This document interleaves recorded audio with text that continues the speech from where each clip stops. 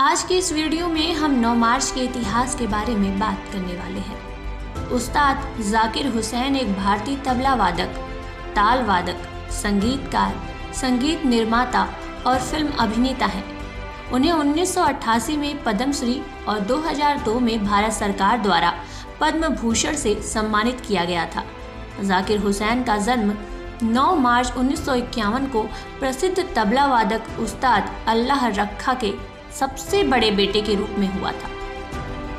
तो वहीं 9 मार्च के दिन कई अन्य महत्वपूर्ण घटनाएँ भी हुई, जैसे नवल राम लक्ष्मी राम पांड्या, एक गुजराती आलोचक, कवि, निबंधकार, नाटककार, संपादक, शिक्षाविद और समाज सुधारक थे, जिनका जन्म 9 मार्च 1936 को हुआ था।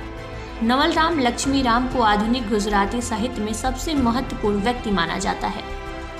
1931 में महाराज हरि सिंह के पुत्र करण सिंह का जन्म 9 मार्च 1931 को हुआ था। वे एक भारतीय राजनीतिज्ञ कवि और परोपकारी व्यक्ति थे। वहीं 1947 में झवेरचंद कालिदास मेघानी गुजरात के एक कवि, समाज सुधारक, लेखक और स्वतंत्रता सेनानी थे।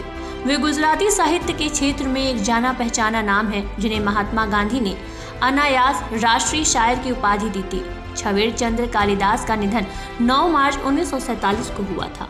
यूपी और देश दुनिया की तमाम ताज़ा तरीन खबरों के लिए गूगल प्ले स्टोर से आज ही डाउनलोड करें हमारा तेज़ी से उभरता न्यूज़ ऐप डेली इंसाइडर